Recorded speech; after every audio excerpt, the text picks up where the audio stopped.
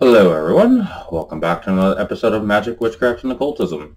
This episode is supplementary, and uh, before I start to explain what this episode is, I'm going to just show you the first big change. Uh, and I found a way to solve a lot of my problems. So watch this. Ta-da! Okay, I have five things to go over. I'm going to try to do this reasonably quickly. This video is only supplementary. Number one, most obvious, you can see me better. You can see the books better. I have a lot more light. Why? Because I have the sheet behind me.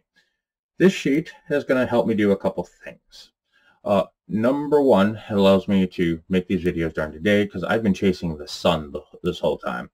And I can only make these videos at night because I have a lot of light or enough light that comes in here where it doesn't allow me to make these videos during the day because you can see what's behind me, which is my apartment and a refrigerator. And no one wants to see a refrigerator, especially in these kind of videos.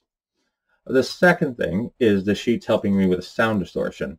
Now, I know the sound quality of my voice is probably not perfect, uh, and I have tried to make uh, fixes to that, such as I have another camera, another um, microphone. Oops. Um, but I can't get it to work with my computer, and I don't know why. And I have a few friends that are pretty tech savvy, and they can't figure it out either. So uh, it's not that I haven't tried, it's that everything I've tried has failed up until this point. So this sheet's going to help the sound quality. Now, what do I mean by the sound quality? My voice is still iffy depending on the episode. It's helping with the white noise. Because, uh, as I told you, I live in a basement, so I have a boiler that turns on from time to time, and then I have to wait for it to shut off. And if I don't notice it, the microphone doesn't know one way or the other. So that's number two. So I've increased the bit lighting so you can see me better, and I've increased the sound quality as best I can. So if you can tell me if you don't hear the white noise in the background anymore, I'd really appreciate that. So please mention that in the comment section below. Otherwise, I'm just guessing, and uh, I might repeat myself a little in this video. Uh, the next thing is I'm learning to use the editing software better to also uh, just uh, remove any sound uh, quality problems to the best of my ability. Uh, and the fourth thing is um, why is my video on the subconscious mind so ridiculously late? Well, this goes back to the sound problems I've been having. I've, I've recorded the video five times and deleted it five times because I can hear the sound distortion. Either my voice is too high or too low, or um, and then if my voice gets too high, it'll crackle and it creates horrible sound distortion, and no one wants to hear that. And uh, the white noise I can hear at different points, and if I can hear it, you can hear it. So that's another reason.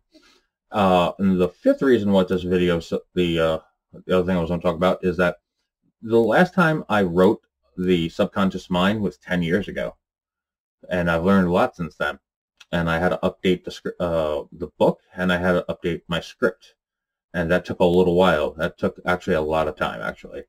Of the bulk of my time was spent writing. I spent three, three and a half hours a day for about a month, which is about 98, 100 hours, and that doesn't count the editing and all the times I've recorded and deleted it on repeat, because I am trying to really make these videos the best I can.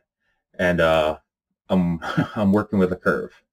So as I said before, if I've improved the overall sound quality and video quality of the video, please tell me. Please write that in the comments section below. I'd really appreciate some actual functioning feedback. I really would. Um, I think that's it. Um, oh, last one. I'm also taking suggestions of anything I can do to fill in when I have these long gaps. Uh, the problem with the book reviews is I like doing them and people really enjoy them. The problem is, for example, finding the pictures for these books. No matter what book I use, I have to still find the pictures. So my question to you is this. Do you mind if I just take a picture of the book. Now, it sometimes can have glare because otherwise I have to just pick the book up and turn it around. And I don't generally don't like that. But if you don't mind me doing that, uh, I could do a book review just about every day for the next year or two and not run out of anything because I've read most of these. I like to have two or three books that I haven't read yet sitting on the shelf. So uh, I, don't, I don't have to go ahead and get a new one. I already have it. So there's a few books here I haven't read in its, their entirety, but most of them I have. And uh, some of these books are also just reference books. To give you an example of that, um, this one's really in there tight.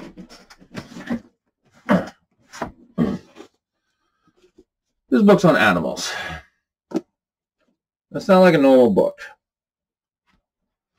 And if you can find this book in Barnes & Nobles or something, get it.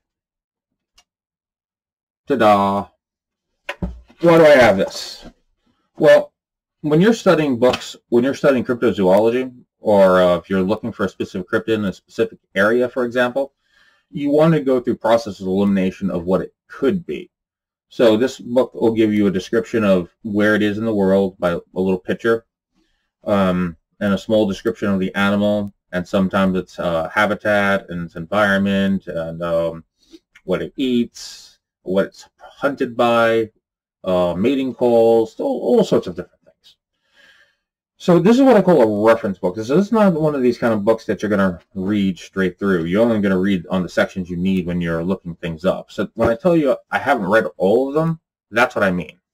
Sometimes some of these books are only used for reference material. And this book barely fits on my bookshelf. And I mean just barely. Whatever. I'll put it back later. But that's the point uh, when I say I haven't read them all. So, uh, as usual, I wish you all the very best of luck with your research and go in peace.